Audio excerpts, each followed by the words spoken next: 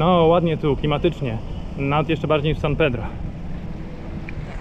Wiemy o dwóch hotelach, w których jest możliwość rozłożenia namiotu. Mm, Z jednego nam odpisali, że nie mają już miejsc, z drugiego hotelu nie odpisali, więc udajemy się tam i liczymy na to, że nas przyjmą.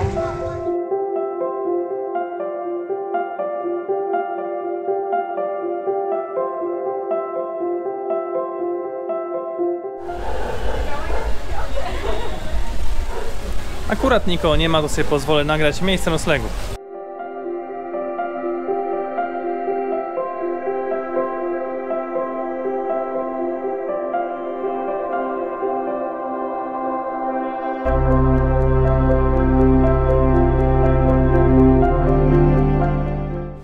Poranek ładny, choć wieczny. Zaczynamy zwiedzać wyspę Kia Kalker.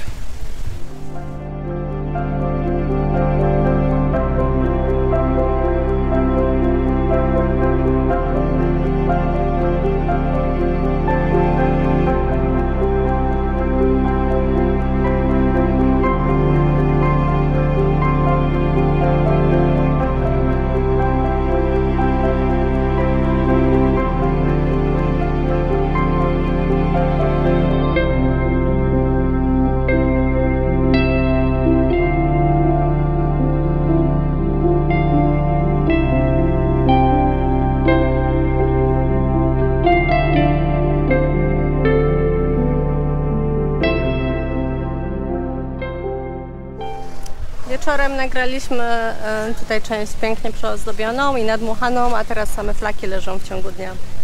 Jak śmieci.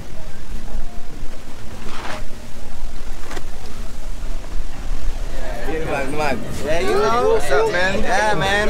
Welcome home, right? Yes, sir. Wanna hang with the OGs? Alright, thanks. Guys. Rozgrywa się jakiś mecz, sporo kibiców przyszło. A jakie tutaj mamy ceny piwa w sklepie? Za takie małe 275 ml, 3,25 berlińskiego dolara, czyli ponad 6 zł. Sporo, ale to jest wyspa, takie mamy ceny. Dobre. Będziemy ogarniać sobie wycieczkę na snorkeling z rekinami i innymi rybkami. No, mamy coraz więcej informacji. Na razie takie wycieczki 5-6 godzinne kosztują od 90 do 100 dolarów.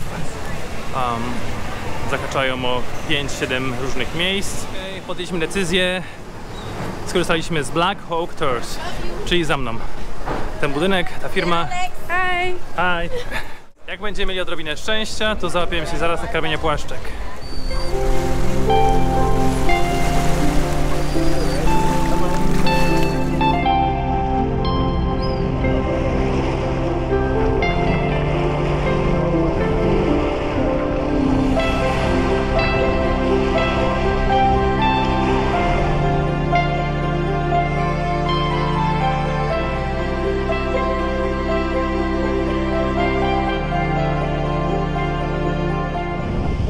Pogłaskane, nakarmione.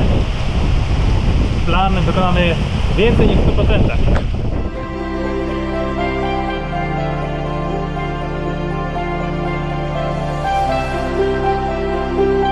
I ruszyli.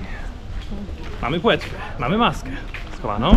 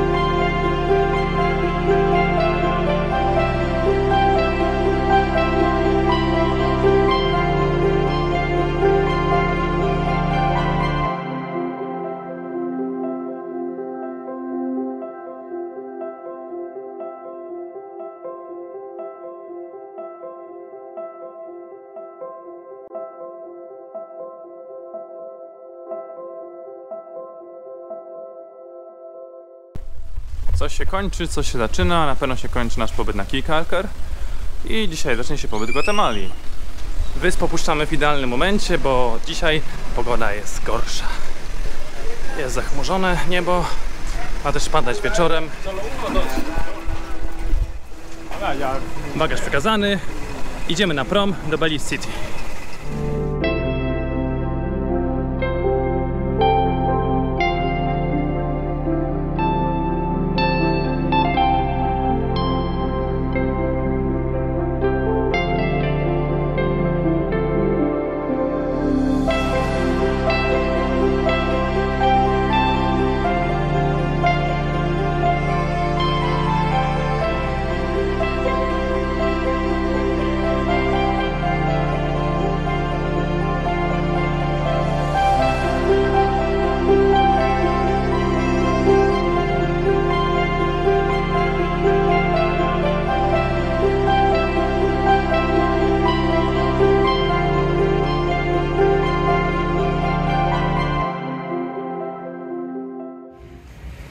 No to już w Gwatemali